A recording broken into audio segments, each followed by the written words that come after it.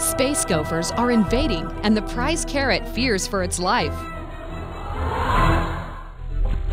Game Over Gopher is an exciting tower defense game built on a coordinate grid.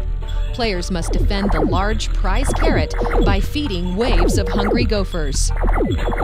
This game helps middle schoolers understand how to graph data points on a coordinate grid. It provides visual clues to help players recognize the coordinate plane and guide them in placing points using X and Y coordinates. At the start of most levels, players use the visual clues and place points while plotting the gopher's path. They are also introduced to food weapons such as the carrot launcher, melon strike, and wheatgrass blaster.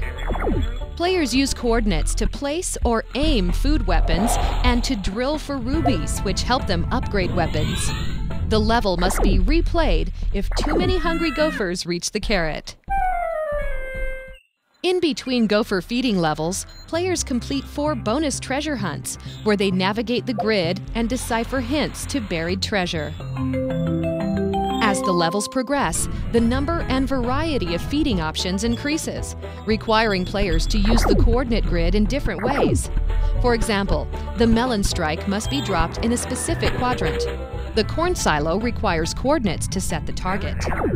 In later levels, the scale of the grid changes to include fractions, and players practice reflecting points across the x and y axes.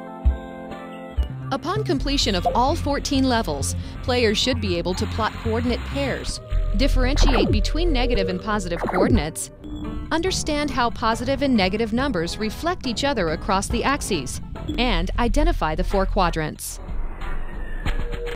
Game Over Gopher is available in English and Spanish. Play it free online at mathsnacks.org. Teachers can also explore the extensive support materials, including a video on how to best use the game in the classroom.